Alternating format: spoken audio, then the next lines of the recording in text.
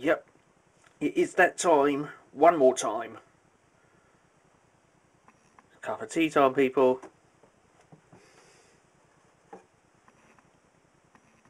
Cheers.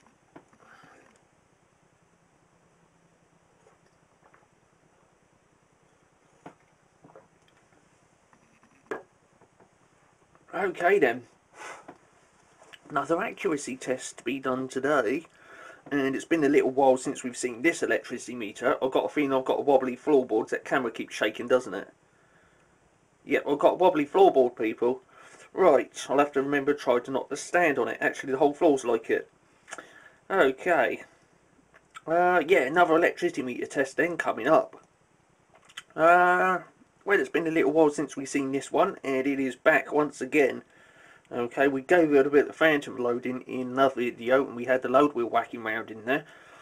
And, uh, well, I do believe it's time now to give it an accuracy test, because it hasn't yet had an accuracy test, and it would be nice to know if it is running accurate, okay?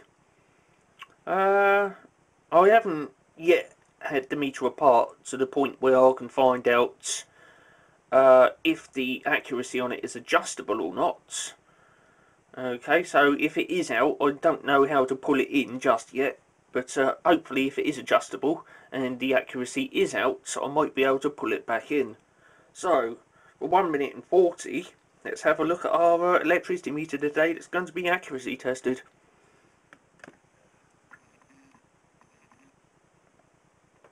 There it is. See if I can get all of it in shots.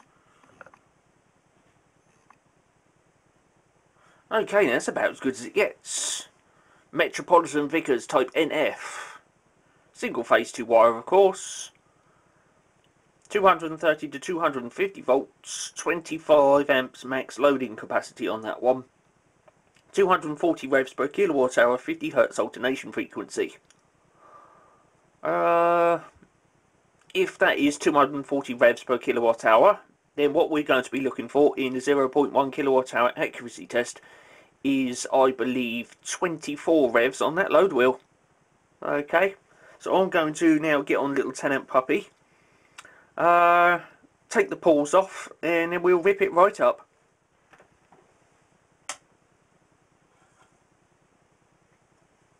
Sixteen amps of phantom current, of course. Action!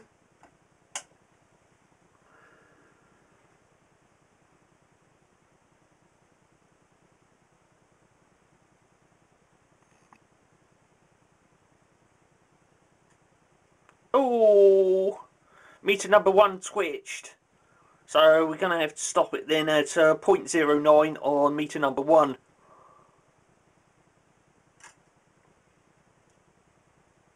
Enjoy the load wheel action, people.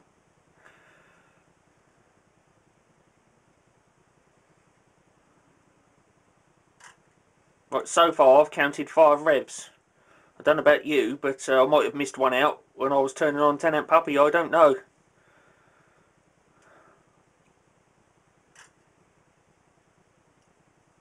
Enjoy the load wheel action.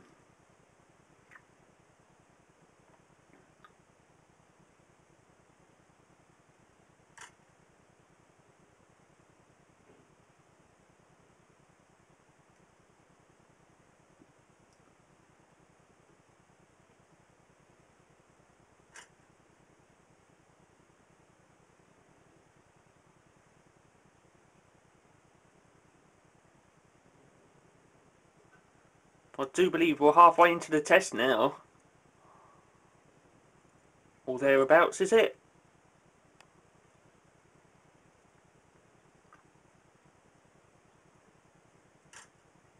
Okay, right. Uh, meter number one should be reading uh, 0.08 right about now, so we've got 0.02 to go. And then we'll cut the test and see if it's accurate. Oh, hang on, I've got to get on 10 amp puppy.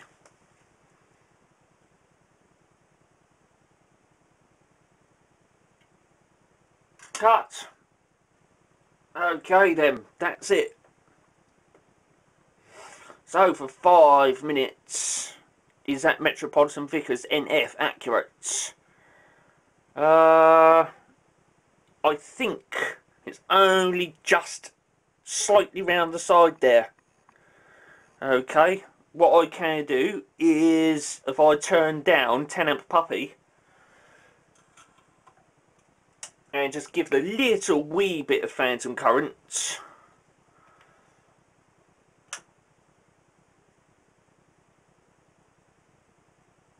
I do believe there's the load wheel people. Right let's pause at them.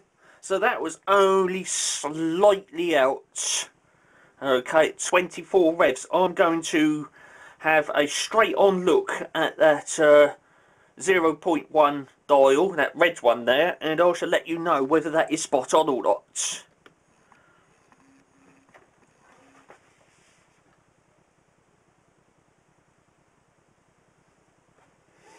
Okay, I've had a look at that uh, 0.1 dial people and you may be interested to know that electricity meter up in front of the camera there, it has passed. Okay, spot on the dot. It was only out ever so slightly.